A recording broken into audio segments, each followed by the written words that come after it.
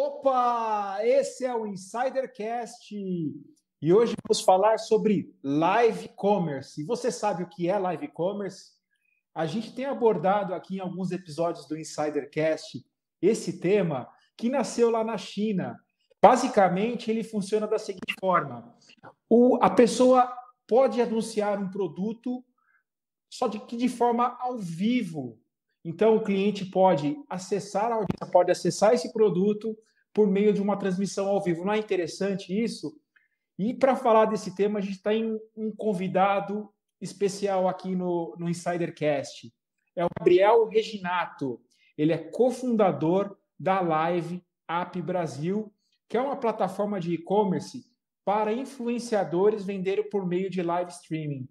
Gabriel, seja muito bem-vindo ao Insidercast. Obrigado, obrigado. Tudo bem? É prazer estar aqui com vocês e poder falar desse assunto que tá, tá ficando mais hot agora, né? Mas eu acho que é, é, é bem legal poder conversar sobre live commerce com vocês, porque esse negócio ainda vai crescer muito aqui no Brasil é, e, e, a gente está já experimentando é, com alguns clientes várias coisas legais então vai ser bem bacana poder falar um pouquinho sobre a nossa experiência em live commerce aqui no Insider Cash. Nossa, a gente estava querendo muito fazer um programa específico sobre esse tema e você chegou aqui para complementar aqui toda essa ideia. E a gente tem outros dois colegas aqui com a gente, colegas especiais. O primeiro deles é Cleiton Lúcio, o homem de Las Vegas. E aí, Cleiton, como está? E aí, Fábio, tudo bem? É, Gabriel, muito obrigado por ter o nosso convite. É, pensei que ia ter piada hoje, não teve? Que engraçado, hein? Tá estranho. Mas nós também temos outra, outra pessoa especial, a Bá Rodrigues. E aí, Bá, como é que tá por aí? Oi, Cleiton. Oi, Fá. Oi, Insiders! Sejam bem-vindos a mais um episódio do Insidercast. E olha, hoje eu tô bem animada, bem curiosa para saber sobre live e nos e-commerces, né? E para começar, Gabriel, eu já quero te perguntar exatamente isso. Conta para gente um pouco do conceito e da história de, de tudo isso, como que é esse verdadeiro reality show de vendas, onde que ele começou, como que começou esse modelo, enfim, conta para gente de onde veio essa história toda. Seja bem-vindo ao Insidercast. Legal, obrigado, Bárbara. Assim, o, o, modelo de vendas por vídeo, ele é bem antigo, né? Assim, todo mundo aqui conhece Shoptime e já comprou alguma coisa por lá, o 011 1406. Então, assim, é, esse, esse conceito ele já vem de muito tempo. Acho que o que é novo aqui em tudo isso que a gente está falando é a junção desse conceito de venda no vídeo com o e-commerce online mais uma pitada de interação aí que antes a gente não conseguia ter na TV. Então, essa ideia toda é, do live commerce, como ele está sendo mostrado hoje, surgiu na China, é, aproximadamente em 2016. O Alibaba lançou é, dentro do marketplace do Alibaba na China, que se chama Taobao, eles lançaram o Taobao Live, né? Taobao Jibo em chinês. E o que aconteceu foi que o primeiro e segundo ano o pessoal ainda estava descobrindo. Em 2019, esse negócio explodiu na China. Eu tive a sorte de estar lá na China, trabalhando no ecossistema do Alibaba, quando é, a gente, eu trabalhava numa empresa em Xangai, que é parceira do Alibaba de e-commerce, e a gente começou a fazer lives para marcas internacionais é, que eram clientes dessa empresa. E foi assim que eu descobri o, o live commerce. É, e, e, foi muito engraçado, porque quando eu estava na China, a gente começou a fazer essas lives, né? E eu não entendia nada. Eu, eu, eu falei, bom, os, o pessoal, os chineses da empresa, né, começaram a falar para mim: olha, Gabriel, você que é o nosso contato com as marcas internacionais. Então você tem que convencer eles a fazerem live commerce, que é a grande onda do momento. Eu falei, bom, tá bom, vamos fazer, né? E aí eu comecei a prestar atenção e tentar entender o que, que era aquilo, porque é, fora da China, no resto do mundo, até então ninguém falava sobre isso, né? E aí eu comecei a, a perceber assim no dia a dia, é, eu sempre ia para o trabalho lá, lá em Xangai de metrô, e eu comecei a ver que assim é, eu fazia pesquisa de público no metrô, né? Eu ia andando pelos vagões e olhando, bisbilhotando o celular de todo mundo. E comecei a ver que muita gente, principalmente o público feminino, estava ali ligada numa live no celular com alguém vendendo alguma coisa, né? E aí eu, a gente começou a fazer essas lives, elas começaram a ser muito bem sucedidas é, e começou a chamar muito a atenção. E daí depois, em 2020, com a pandemia, na China, né? A China, a pandemia começou antes e terminou antes. Realmente, o, o, o Taobao Live explodiu. Outras, é, outros varejistas online chineses começaram a fazer live também. Então, hoje, basicamente, todo mundo na China faz live, é, live de, de shopping, né?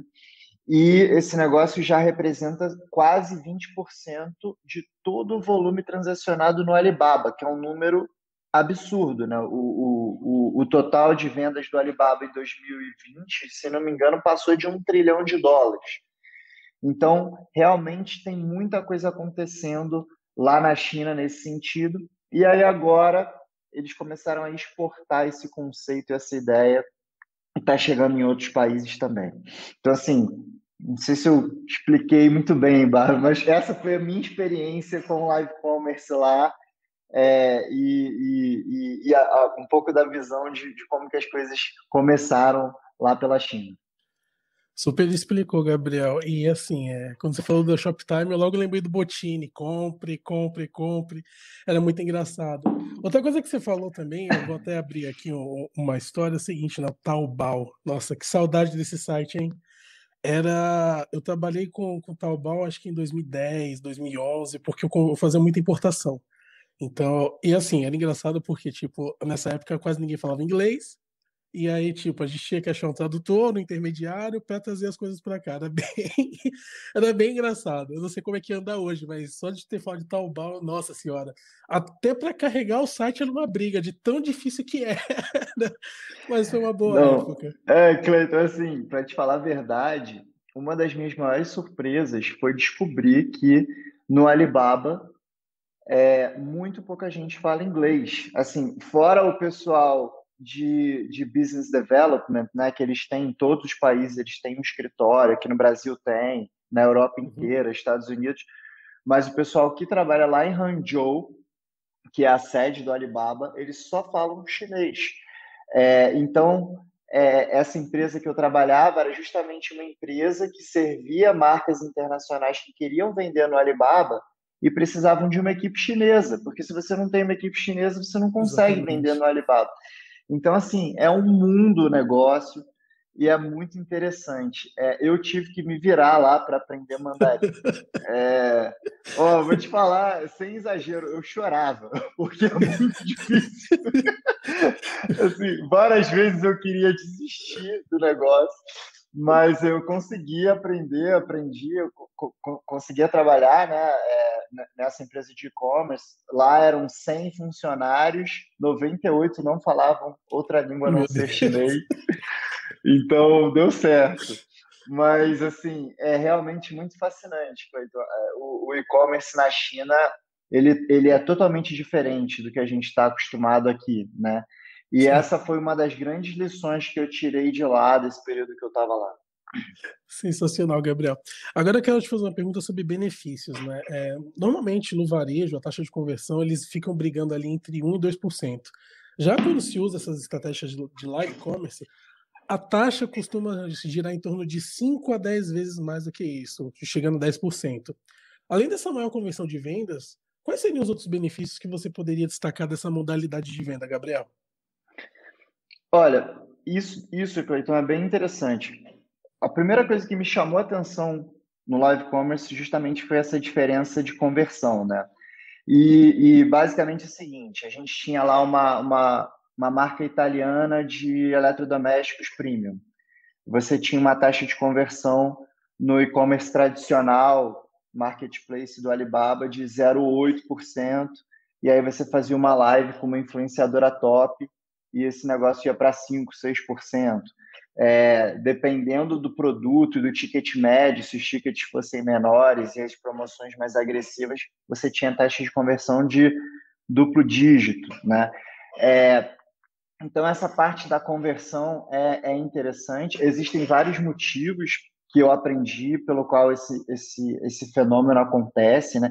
Uma das coisas é justamente a compra por impulso. Você está vendo ali na hora e a pessoa chega e lança um cupom e você fala, putz, eu tenho essa oportunidade agora, vou comprar agora. A outra é a presença de uma curadoria, né, de uma pessoa que você confia vendendo ali para você. Então, isso é um, é, um, é um fator também que influencia bastante. Agora, fora a venda é, propriamente dita, é, o que eu acredito é que, assim, hoje você pergunta para qualquer pessoa do mundo do e-commerce quais são as capacidades que um bom e-commerce tem que ter, né? Você vai ouvir a logística, é, sortimento, uma boa tecnologia, atendimento ao consumidor. Acho que todas essas são, são as, as, as capacidades que a gente sempre ouviu falar é, no e-commerce. E hoje, o que eu aprendi na China é que o, o, o futuro, o diferencial das marcas no, no comércio eletrônico vai ser geração de conteúdo relevante e gestão de comunidade. Então, conforme o e-commerce vai amadurecendo e todos esses pontos já não são mais tão diferenciais assim, quais serão os próximos diferenciais, né? Então, o, o, o e-commerce chinês ele sempre teve muito conteúdo misturado no, na, na, experiência. É, quando você chega lá e você entra num Taobao da vida, você é bombardeado com vídeos e, e músicas e, e, e tudo. E aqui no Ocidente, o nosso, o nosso referencial é muito da Amazon, né? Que você tem ali algumas fotos, alguns reviews e acabou, né? Então, é, esse negócio ele está mudando. E, e, uma das principais é, benefícios do live commerce é que fazendo live commerce você está gerando conteúdo é, e você está fazendo o seu consumidor mudar o seu relacionamento com você. Né? Então, por exemplo, vou te dar um dado aqui. Hoje em dia, quando você fala de um site de e-commerce, a média de tempo de sessão, né, que é o tempo que uma pessoa fica ali no site navegando, é de mais ou menos um minuto e meio, dois minutos, dependendo do site. Quando a gente faz uma live para uma marca, o nosso tempo médio de sessão é de 15, 20 minutos. Ou seja, você está pegando um consumidor que normalmente ficaria lá um minuto e meio no seu site está aumentando quase em 10 vezes o tempo que ele está ali dentro interagindo, porque você está dando conteúdo para ele. Né? Então, é, essa parte de, de você estar tá, é, capturando esse consumidor através das redes sociais, mas de preferência jogando ele para dentro da sua casa, né, para dentro do seu site, do seu domínio privado ali, e oferecendo uma live, um vídeo para ele ver com coisas interessantes, influenciadores que ele gosta é, realmente muda essa relação do, do consumidor, né? Então, assim, eu acho, a gente acha isso que o, o live commerce nesse contexto de que as marcas e os varejistas têm que ficar sim experts em geração de conteúdo relevante para criarem as suas comunidades e se diferenciarem. Isso é muito, é muito importante. E o live commerce é uma ferramenta super boa nesse sentido. Então, acho que vai além só da, da venda, né? E do ah, minha conversão era tanto, agora é tanto. Isso é super relevante também. Mas o que você quer também é, é esse relacionamento direto com o teu consumidor ali que vai acabar virando virando um público cativo, né? Hoje, hoje é muito engraçado. Na China, toda marca faz live todo dia. Então, você que é um consumidor de uma marca X, você sabia, já vão dar sete horas, está na hora da live da minha marca, que eu gosto deixa eu dar uma entradinha lá para ver o que, que eles escolheram para mim hoje, né? Esse comportamento do, do consumidor ser é, é, é, é, um público cativo da sua marca é o que toda marca quer, né? Imagina. Poxa, deixa eu entrar aqui, são sete horas, vou entrar lá no site para ver o que, que tem hoje lá para mim. Então, é, é basicamente essa relação que, que a gente acredita que, que é o futuro do, do, do e-commerce. Muito legal, Gabriel. A gente tem falado, inclusive, com os nossos clientes aqui. A gente faz muito branded content, marketing de conteúdo para marcas. Que esse é essa é uma tendência para você poder vender mais de uma forma mais genuína, mais próxima do teu consumidor. E eu entendo que também o live commerce casa muito com isso, porque você tem o produto lá sendo vendido instantaneamente, a pessoa já pode comprar rapidamente na hora ali o produto. Isso é incrível. A gente tem batido aqui nessa tecla aqui no Insidercast que é o futuro mesmo da comunicação mais próxima, profunda e como se fosse teu amigo falando para você, compre esse produto e eu recomendo. É, por isso que você falou Exatamente. dos influenciadores, muito, muito legal isso. Gabriel, agora eu quero saber de você, para a gente entender um pouco melhor sobre esse conceito, sobre cases, casos reais de sucesso. Fora da China, a gente viu alguns casos nos Estados Unidos, por exemplo, da Walmart, uma grande varejista, e também de ações do Shopify com o TikTok, com influenciadores. A gente viu que o Instagram lançou uma ferramenta, um app, nos Estados Unidos também, que pluga é, marketplaces né, na plataforma via live commerce. Eu queria que você falasse um pouquinho dessas novidades aí, também fora da China, que estão ocorrendo aí para a gente entender melhor esse conceito. Legal.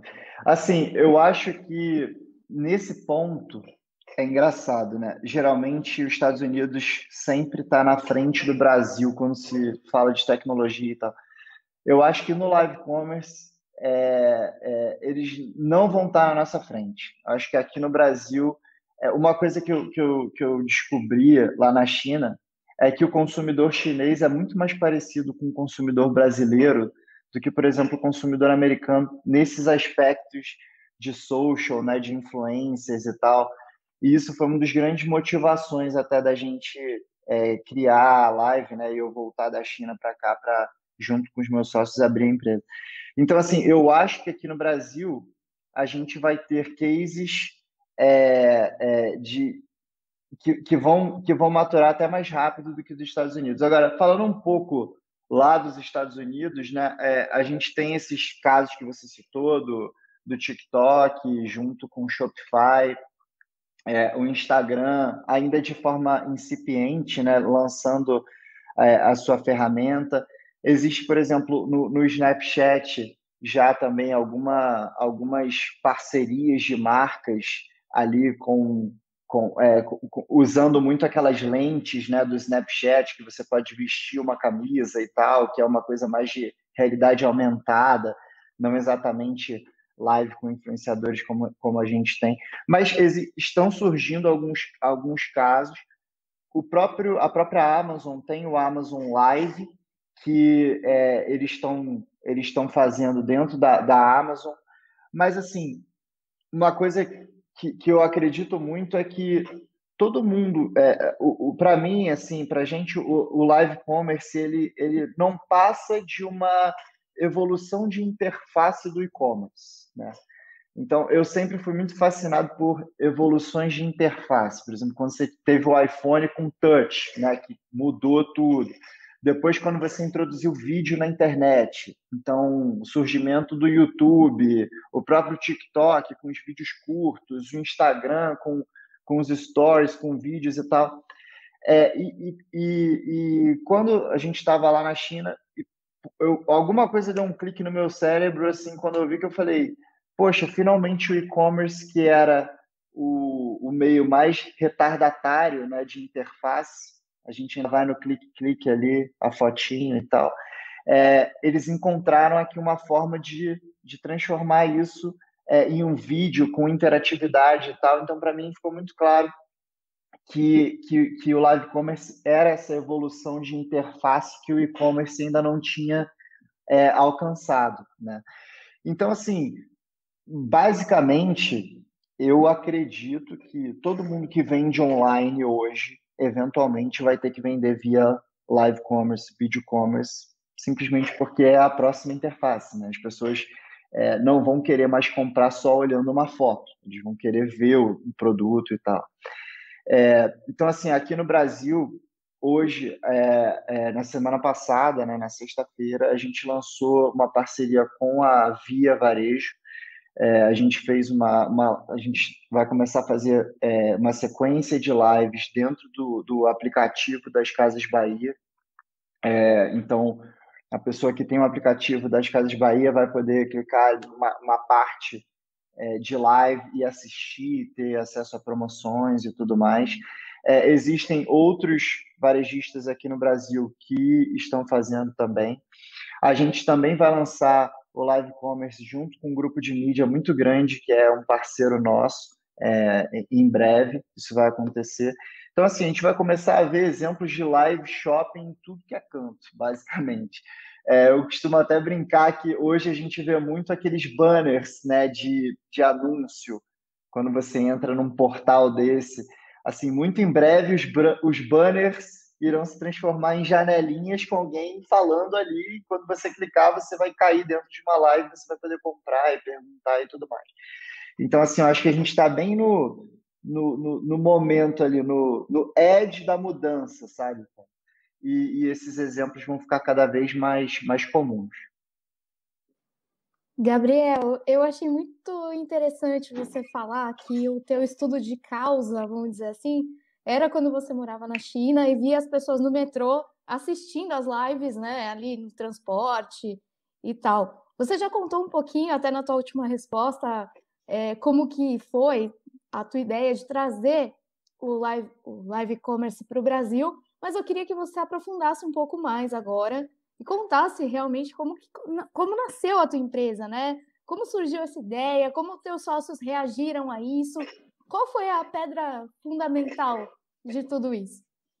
Legal, é, então, é, basicamente eu caí de paraquedas lá, né? Foi uma sorte danada estar tá lá na China. Assim, uma coisa que é difícil de até de é, explicar para quem nunca foi e tal, é que assim, a China está tão na frente do que a gente entende de tecnologia que se você não for lá, é difícil você entender. E aí tem gente até que acha que é um exagero, sabe? Poxa, mas eu já fui na Califórnia várias vezes, é lá que é o Google, que é o Facebook, que é a Apple. O que, que tem de tão diferente? É, cara, e tem, assim, é, é muito diferente. É, é, vou dar uns exemplos aqui, mas, é, por exemplo, lá na China, você senta no restaurante, você não tem mais um garçom vindo na, na sua mesa. Nunca mais. Você tem um QR Code na mesa, né? Hoje a gente já está começando a ver os QR Codes nos menus, porque você não pode mais pegar no menu por causa do, do coronavírus.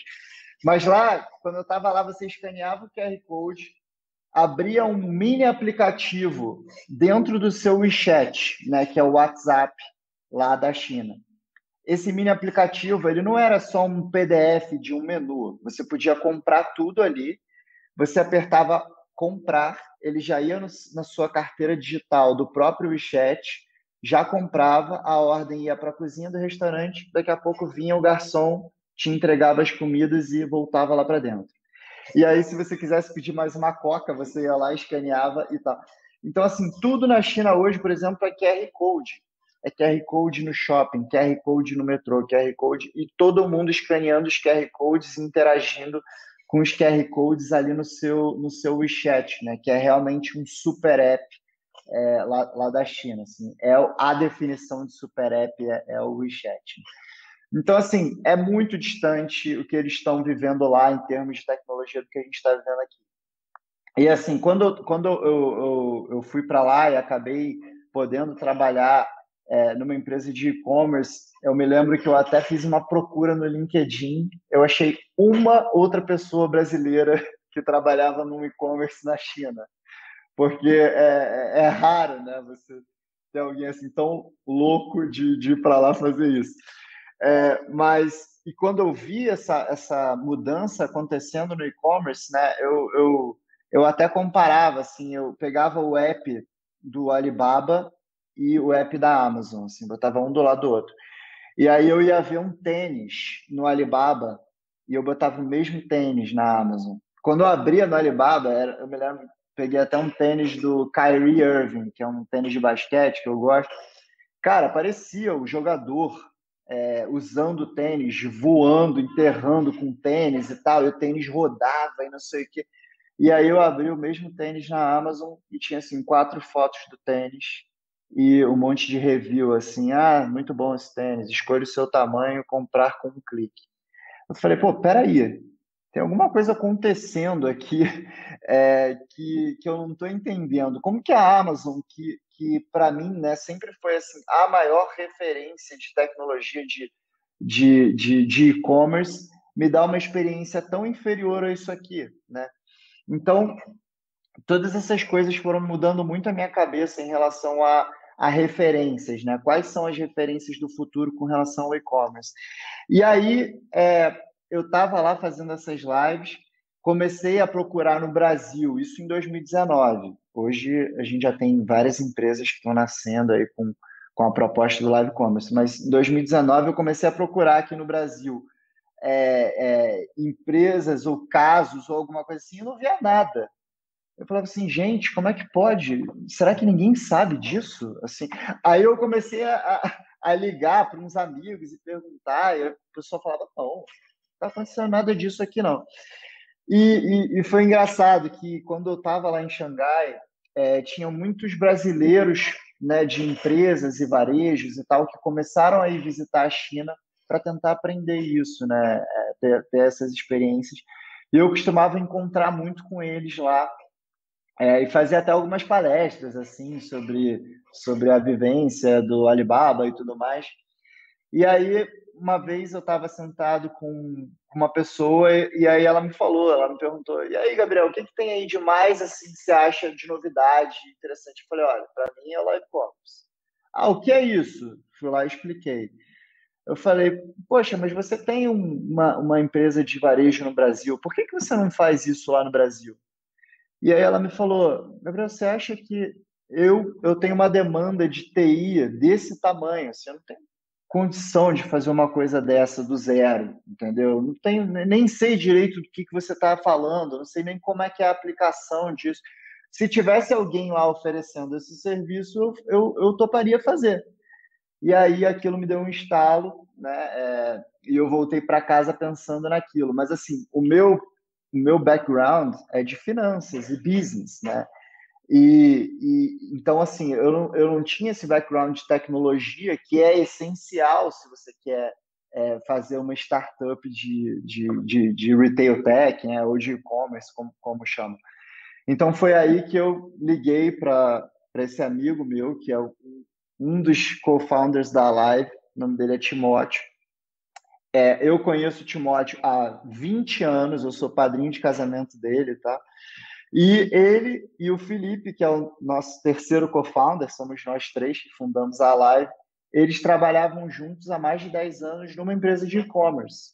E eu falei para eles, eu falei, gente, deixa eu contar aqui para vocês, ó, o que está acontecendo aqui é isso, isso e isso.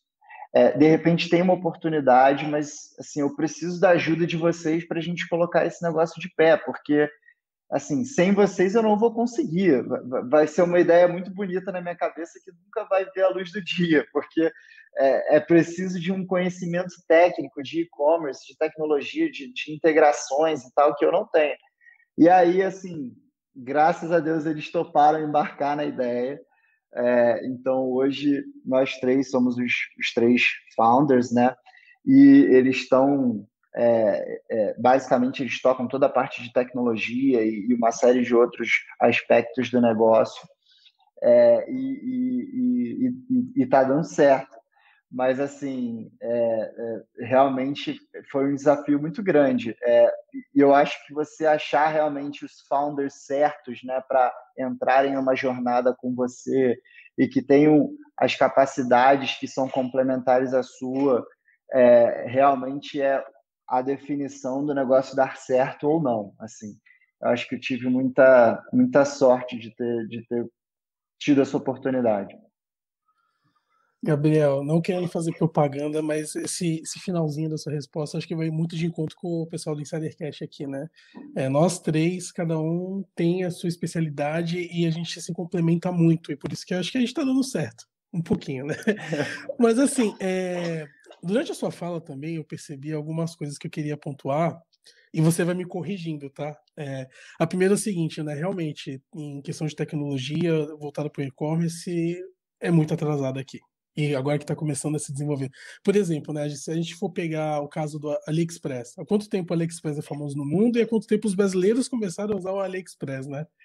É, é, é muito tempo. Por exemplo, acho que em 2010, 2011, o AliExpress já, já fazia vendas globais e quando você falava para alguém aqui, ah, eu comprei uma coisa na China, a pessoa te olhava assim, como assim?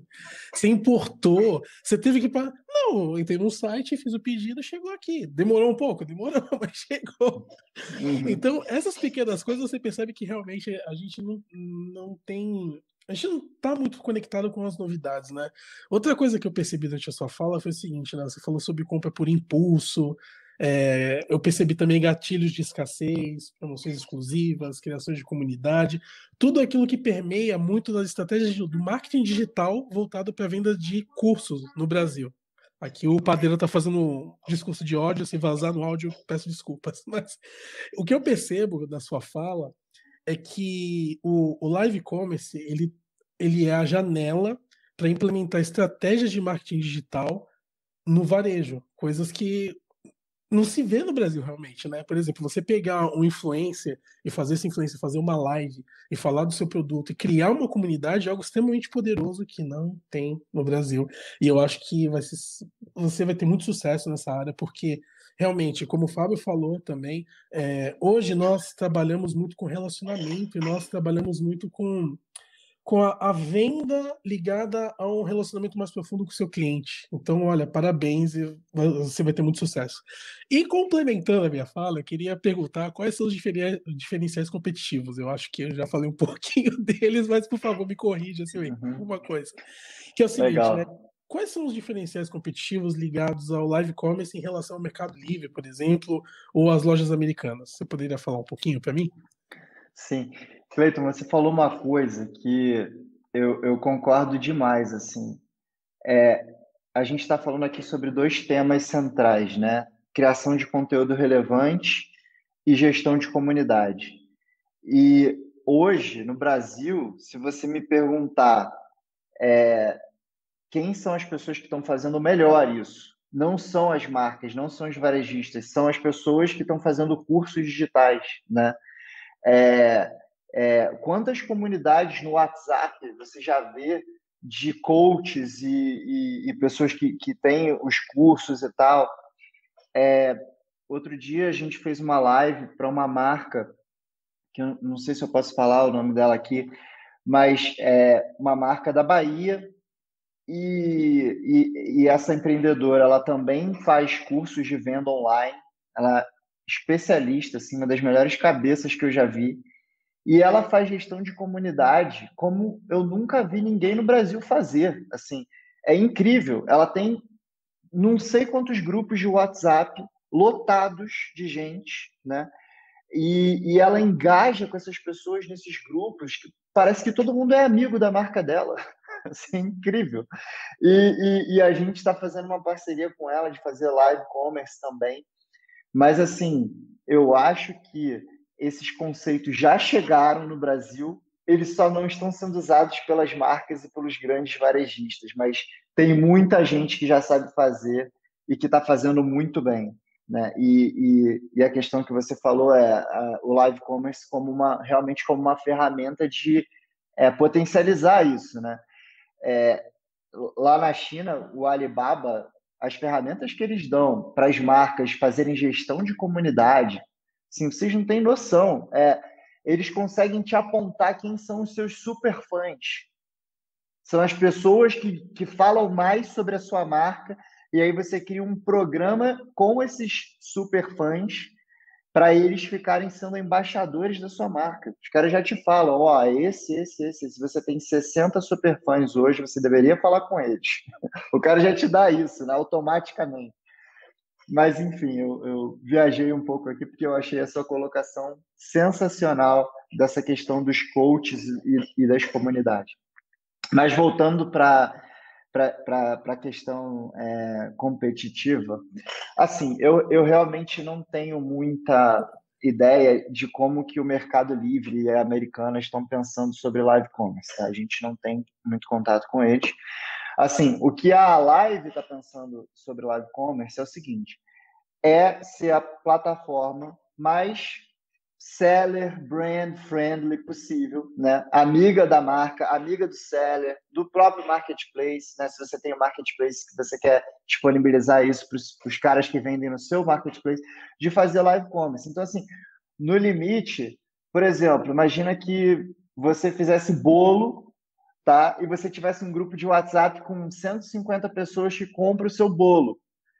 Cara, em minutos você vai poder fazer uma live fazendo ali um bolo especial, pega aquele link, joga no teu grupo, as pessoas vão entrar, vão ver o bolo, vão falar, caramba, eu quero esse bolo, pum, comprou o bolo, entendeu? Essa é a ideia. Ou se você tem já um aplicativo com milhares de, de users no seu aplicativo e você não quer desenvolver um live commerce do zero, porque realmente não faz sentido, é muito complexo, né? Toda essa questão do vídeo, do ao vivo, a gente sofre muito com isso, assim, é, é, é nós mesmos, né, para desenvolver o produto, para realmente ficar com uma qualidade muito boa. Tipo, você poder usar uma, uma plataforma, né? Então, realmente é assim, é empoderar as marcas a, através das lives e, e do live commerce, chegar diretamente no teu consumidor final e criar uma relação one-on-one com ele, entendeu? Acho que é esse que é o ponto. É assim, Gabriel, você foi falando, é, Realmente, eu acho que as marcas, assim, principalmente. A... Eu não vou, não vou meter pau nas marcas, porque eu entendo que quanto maior um, um, uma empresa, mais demora para os processos serem implementados. Mas, por exemplo, você falou dos superfãs. Cara, é sensacional você poder usar os seus superfãs como embaixadores da sua marca, porque você está criando, é, primeiro, um, uma equipe de micro-influenciadores e você está empoderando essas pessoas para que elas te deem os feedbacks também sobre a sua marca. Porque muitas vezes o, o, o super fã vai falar: olha, isso daqui não é tão interessante.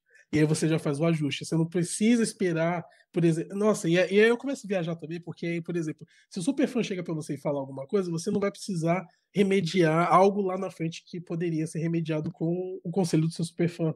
Então, é, eu acho que é o futuro, eu acho que é o caminho realmente assim do comércio.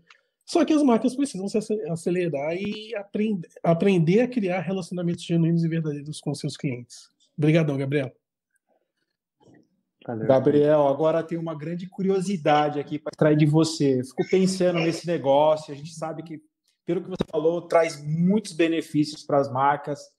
Você faz um deep é, dive na questão da, da interação com o teu cliente, né? Você consegue se conectar muito fácil mas a grande dúvida é como que vocês se monetizam é, para um negócio como esse? Qual que é o... Vocês usam um modelo tech rate, é, onde parte da, das vendas vocês ganham junto com esse cliente? Qual que é o modelo de negócio de vocês? E eu queria entender se esse modelo de negócio, você comentou da Via Varejo, que vocês estão, vão começar um trabalho com eles, é um, é um mega player mas se esse tipo de negócio também é acessível para empresas de médio e pequeno porte também, se, dependendo do modelo Sim. de negócio que vocês adotam. Minha curiosidade. Legal. Olha, eu tenho uma, uma, uma ideia, tá? Que eu acho que ainda vai demorar um pouquinho para chegar aqui, mas que eu acho que é o seguinte: marca, qualquer pessoa que faz venda online tem que fazer live todo dia. Não é a live do Black Friday que vai chamar o super apresentador e o Felipe tal da, do YouTube. Essa live tem que ter. Mas, assim, é, o, as pessoas têm que fazer live todo dia, porque todo dia o seu consumidor ele quer um conteúdo fresh, né? ele quer um conteúdo novo. Então, assim, quando a gente criou a live, a gente já criou pensando nisso, né? Como que a gente faz uma ferramenta que permita que as pessoas consigam fazer uma live com um custo muito baixo e todos os dias ela pode pegar, botar o celular dela ali no tripé, escolher uns SKUs, um tema, botar um cenário e começar a falar para o público dela, né? Porque é assim que, que acontece na China. Hoje em dia você entra num. É porque na China não tem site, né? Eu não sei se vocês sabem isso. Nenhuma, nenhum chinês entra no site da Nike ou de qualquer outra marca para comprar nada. Eles entram nos, no Alibaba, né, nos marketplaces e tal, nas lojas personalizadas das marcas. Mas assim, hoje, quando você entra numa loja personalizada dessa, que eles chamam lá de flagship store, a primeira coisa que aparece no topo da loja é uma live. Você entra na, na, na, na loja da L'Oréal, da Lancôme e tal, pum, a live está lá em cima, né? E aí você começa a navegar na loja e ela vai virando uma, uma janelinha pequenininha aqui do lado. E aí você tá ali olhando e você fala, quer saber? Deixa eu ver o que, que eles fizeram hoje para mim aqui de curadoria, né? Porque tem uma coisa que o, o, que eu acredito muito também que o consumidor ele não quer mais só entrar num lugar e ter que catar o que, que ele quer comprar, né? Ele quer ele quer que alguém diga para ele o que, que ele tem que comprar. Então assim é, e de preferência alguém que ele confie. Então você tem hoje já na China super influenciadoras que basicamente o papel delas é fazer uma curadoria de, de produtos e apresentar aquilo numa live todo dia. E as consumidoras entram lá e falam, cara, o que que, eu, o que, que hoje a Weia, né, que é a maior é, streamer chinesa, vai mostrar para mim? Porque eu, eu, sei que eu posso confiar nela, né? Então, assim, voltando para a questão do modelo, é, basicamente a gente quer que, então, qualquer marca, seja ela a Via com a Casas Bahia, seja ela um pequeno seller, uma pequena marca que vende no interior de Minas ou em qualquer outro lugar, possa fazer lives diariamente. Né? Essa é a ideia. E aí você coloca lá, você embeda a sua live no seu site, você faz uma chamada no seu Instagram, faz um stories que arrasta para cima e já cai na live, ou bota ela no site lá, depois que a live acabou, ela fica disponível, você pode ver ela também gravada. É, mas para isso, a gente precisou fazer duas coisas. Um, criar uma forma de fazer a captura da live pelo celular, porque hoje, não sei se vocês sabem, mas contratar uma equipe de câmeras de transmissão é uma coisa cara, que não é economicamente viável para muita gente. E hoje, com o celular, você tem uma qualidade incrível de imagem, né? Então, a gente criou um aplicativo próprio que você pode baixar, pode botar no tripé, se quiser, bota no microfonezinho e faz a live, ela fica super boa.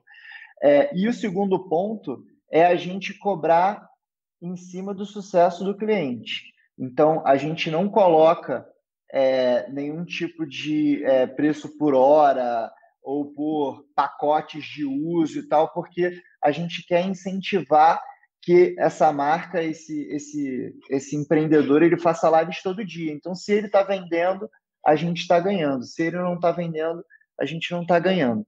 Então, é basicamente um, um FII. É, a gente entende que esse FII não pode ser um FII muito alto, porque senão você está basicamente concorrendo com o mesmo tipo de de um marketplace. A gente quer que esse cliente ele tenha espaço para poder, inclusive, remunerar um influenciador se ele desejar. Então, o que acontece muito na China hoje, Fábio, é o seguinte: você, é, e acontecia muito comigo lá, é, a marca ia, contratava uma influenciadora daquela categoria, então, uma marca de mamãe e bebê tem lá uma série de influenciadoras de mamãe e bebê, especialistas naquilo, que já tem um público e tal. Contrata ela, faz a live, uma, uma parte da, das vendas vai para a plataforma, no caso lá, a plataforma do Alibaba, e uma parte das vendas vai para a influenciadora. E dessa forma você criou todo um ecossistema de influenciadoras de live commerce, né, de live shopping, é, que ganham comissionadas é, é, na, na, base da venda, né? Que, porque hoje em dia também o mercado de influenciadores no, no Brasil e no Ocidente como um todo ele não funciona assim, né? A gente ainda está caminhando para lá. É, hoje em dia todo mundo é a maior parte das pessoas é remunerada é, com um fee fixo, né? Por post, alguma coisa assim. Então, quando você tem a, a influenciadora participando de uma live, e você tem lá as vendas certinhas que ela gerou, você também consegue fazer uma parceria que seja variável. Isso para as marcas é muito interessante também. Então a ideia é essa, é fazer é, com que as lives sejam super acessíveis de serem feitas através de um aplicativo de celular que você pode baixar na App Store, na Google Play, é, e que seja um percentual das vendas é, para a plataforma para incentivar que as pessoas estejam sempre fazendo lives novas. Gabriel, eu estou adorando esse nosso bate-papo. É, tem muita coisa legal para falar de live commerce. Até o padeiro passou, acho que parece que estava ouvindo que a gente estava gravando sobre live commerce e fez um live commerce dele ali, fez a buzina ali atrás para vender o pão das cinco, do café da tarde, enfim.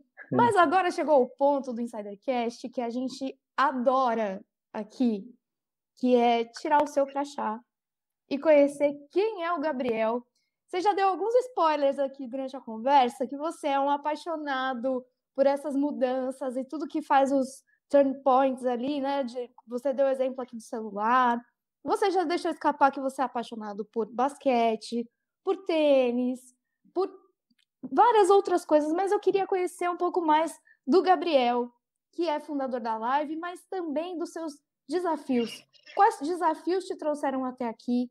O que que te fez ser um apaixonado por tudo isso? Enfim, conta mais pra gente de quem é você, por favor. Legal, é, bom, primeiro contar só um, pouco, um pouquinho mais de mim, né? É, eu tenho três filhos. A minha filha mais velha tem nove, eu tenho um filho de cinco e tem uma na barriga para chegar agora mês que vem. É, então a família é bem grande e foi foi assim é, o meu background como eu falei é do mercado financeiro então eu, eu sempre fui analista de empresas né e eu sempre fui apaixonado por é, pela Amazon, por tecnologia, por e-commerce e tal. E surgiu essa oportunidade de, de poder ir morar na China. Foi é, basicamente do nada que surgiu a oportunidade. E assim, o primeiro desafio que eu queria falar aqui foi isso, né? É, de quando surgir uma oportunidade dessas, que pode ser, é, é, que chamam, né, é, life changing, né, que podem transformar a sua vida, ter a, a coragem de ir lá e agarrar ela. Então, assim, a, a, minha esposa é uma pessoa incrível. Ela, eu falei para ela, ó, a gente pode de repente morar na China. Ela falou, tá bom, ok. É, eu só quero poder ir lá antes para escolher a casa e ver onde é que a gente vai morar. Mas tirando isso, então a gente se mudou para lá com a família toda. É, na época os nossos filhos eram menores ainda, né? e foi muito desafiador. Assim, é, é, é, é incrível como, como você tá lá e, e, sair na rua e não conseguir ler nada. Aquilo te é muito é, humbling, né? Que chama. É, você se sente muito pequeno, assim. Caramba, olha isso. É, eu, não, eu não consigo nem dali para cá porque eu não sei nada. Então aprender mandarim foi, foi muito difícil também. Eu fazia aula três horas por dia com uma professora particular, de 7 às 10.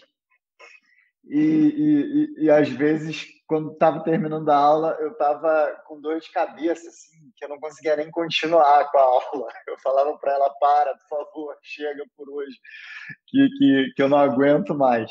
Mas, assim, se eu, em retrospecto, se eu não tivesse é, abraçado essa oportunidade de, de ir para a China e, e, saído da minha zona de conforto aqui no Brasil, né, de já estava anos trabalhando no mercado financeiro e tal, eu não teria tido essa, essa visão do e-commerce, do futuro do e-commerce, né, como, como eu tive a oportunidade de ter. Então, acho que esse desafio foi, foi muito difícil, mas que mas, mas realmente valeu a pena. Então, assim, esse foi, foi, foi um dos desafios. O outro que eu acho que a gente já falou também, Bárbara, foi a questão de encontrar os founders certos, né? É, é, eu acho que se não fosse pelos, pelos meus dois sócios, a live nunca teria saído do papel. Acho que você é, não consegue, muito dificilmente você consegue tirar algo sozinho do, do, do papel né, para alguma coisa concreta sem a ajuda de pessoas muito complementares. Então, eu acho que eles são pessoas fantásticas, excepcionais e, e, e esse desafio de conseguir é, de conseguir achar os sócios certos é, também foi muito relevante.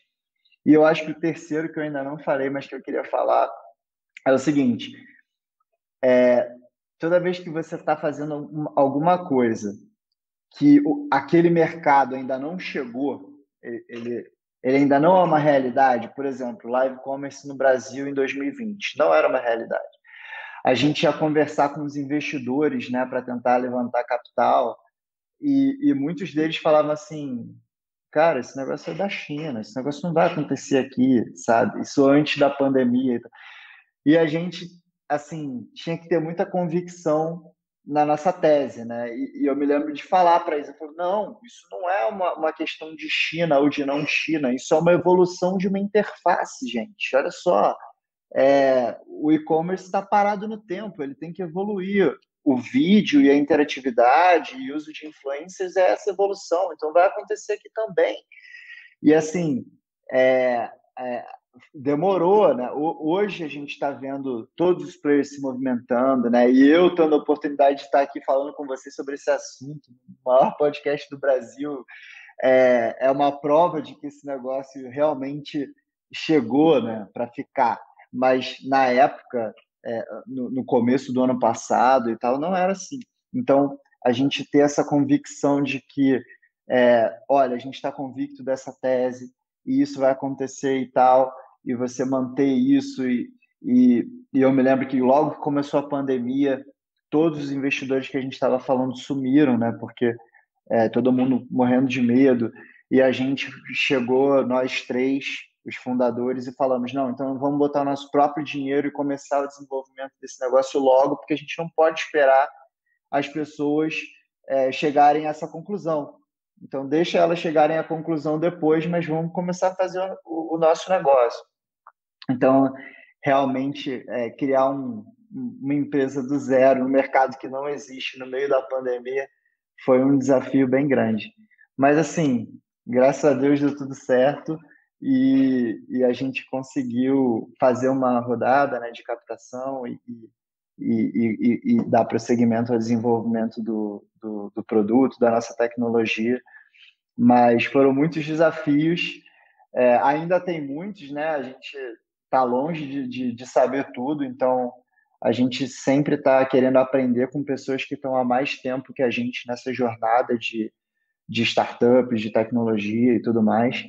É, mas esses desafios que a gente já passou é, já ensinaram para a gente algumas coisas importantes. Gabriel, esse, essa história de você falando sobre pandemia, abrir uma empresa é, no mercado inexistente, cara, casa muito com a gente, tá? É, eu fui percebendo essa energia que, que tem. Depois a gente vai bater um papo em off, mas tudo bem por enquanto. Hum. Infelizmente, o episódio está chegando ao final, e eu falo infelizmente assim com, com dor no coração, porque é um assunto que eu sou apaixonado. Acho que você percebeu durante o episódio que eu, eu fui fazendo várias conexões aqui. É, e é muito legal esse assunto, eu gosto muito dele. Mas infelizmente a gente está chegando ao final. Mas antes, eu queria que você deixasse um recado final e também as suas redes sociais para os insiders entrar em contato com você. Legal. Não, eu queria agradecer primeiro vocês a oportunidade de, de estar aqui, ao interesse dos ouvintes né, é, do podcast é, sobre o tema. E, e realmente, assim, reforçar aquele ponto que a gente falou, que a grande, o grande diferencial das marcas no e-commerce, acho que vai passar por criação de conteúdo e gerenciamento de, de comunidades, né? E a nossa empresa quer ser um, um, um, facilitador nisso daí, através do live commerce, mas acho que vai ter uma, uma dinâmica competitiva muito interessante para as marcas e para os, sellers, né, e os, os, empreendedores que investirem nesses dois pontos cedo, né, e começarem a criar essas comunidades e gerar conteúdo e tal. Então espero que vocês possam em breve participar de uma, uma live nossa, é, ou até fazer a própria live de vocês, né, usando a ferramenta.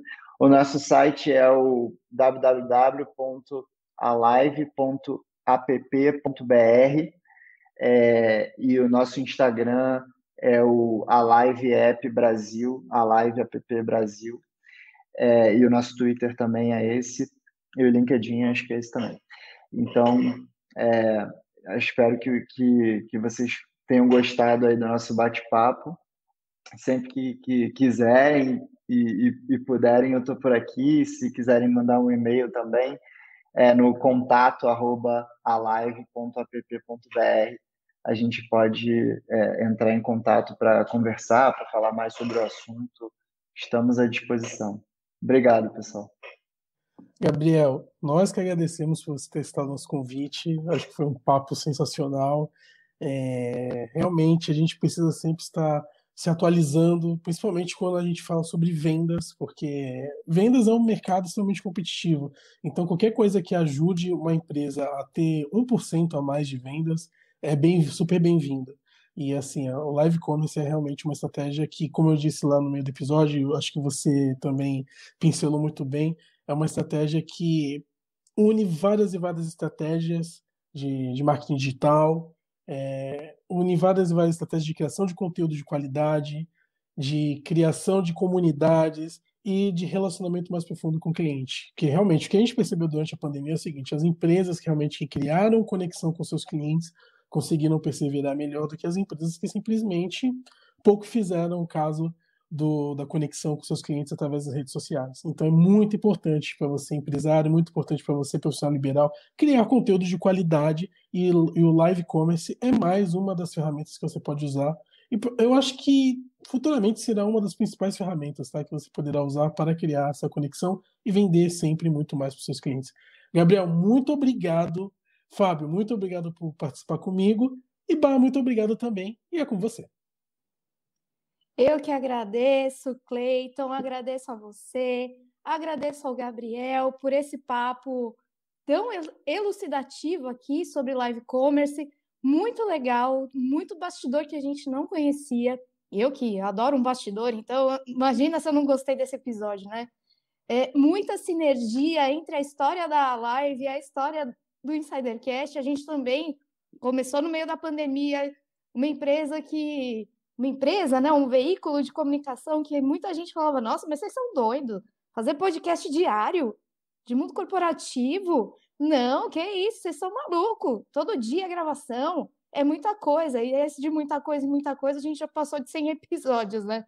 Então, eu, eu vi muito da Insider na própria história da live também. Foi um episódio, assim, muito legal do começo ao fim. Gabriel, muito obrigada mais uma vez. Queria agradecer também as meninas que estão acompanhando aqui da assessoria com o Gabriel. Queria agradecer, lógico, vocês, insiders, que estão com a gente nesse, em outros e em tantos outros episódios que ainda virão. Meu, muito obrigada. E meu, muito obrigada a ele. Eu não brinquei lá no começo, mas vou brincar agora. O menino de Oz. Fábio Oliveira, muito obrigada. A gente se encontra no próximo Insidercast.